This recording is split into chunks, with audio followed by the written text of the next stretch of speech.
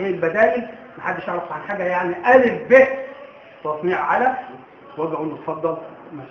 طيب فالمصنع هو يعني ده المفروض.